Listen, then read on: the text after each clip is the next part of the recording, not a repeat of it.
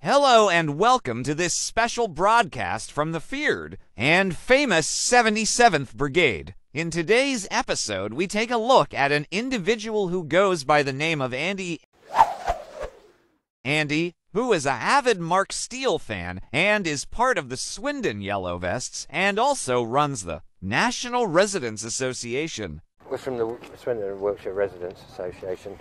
Um, we're here this evening um, because we've had some complaints from residents that live along here about the 5G masts there. They're, they're, Oh, they get, yeah, they're getting symptoms, nosebleeds, tinnitus, stuff like that. Are I you actually getting anything like that?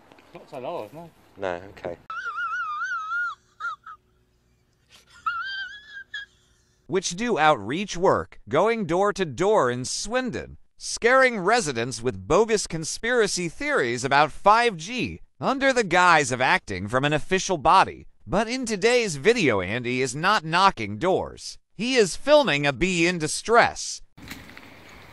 Yes, we have. Must be in distress here. The bee that Andy has found in distress is a white-tailed bumblebee, Bombus lucorum. The white-tailed bumblebee is a very common bumblebee that emerges early in the spring and can be seen feeding on flowers right through to the autumn. It can be found in gardens, farmland, woodland edges, hedgerows, and heathland. Anywhere there are flowers to feed on, as with other social insects. The queen emerges from hibernation in spring and starts the colony by laying a few eggs that hatches workers. These workers tend the young and nest. Males emerge later and mate with new females who are prospective queens, both the males and old. Queen die in the autumn, but the new queens hibernate. Yes, we have. Must be in distress here. Oh no, it's that See if it anti-5G nutter. My hive warned me about him. But, what are you doing? Get your pen away from me, you pillock. But, get away from me, you pillock. Let me die in dignity. This is what we do this time of year. Us Yeah. worker bees die off every autumn. Do your research. This is absolutely exhausted, this thing.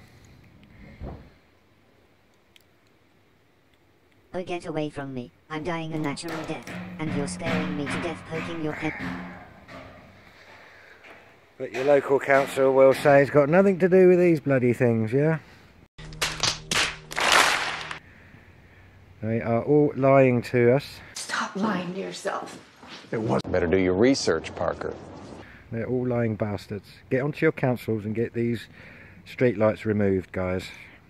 And that concludes Andy's shore video, where his conspiratorial mindset associated a streetlight to the death of a white-tailed bumblebee, which die off in the autumn. Seeing how this video by Andy was filmed on the 27th of September, which is within the season of autumn in the UK, it is totally normal for white-tailed bumblebees to die off. Andy, who is a avid Mark Steele fan and even wears a Save Us Now t-shirt, needs to do some real research. Instead of taking what Mark Steele says as gospel, the Streetlight Andy show are not even 5G. The light nodes work on the frequency of 868 megahertz, which is an unlicensed frequency that is not used in the 5G allocated spectrum. This has been debunked by Mohammed Shafiq and MC Toon years ago.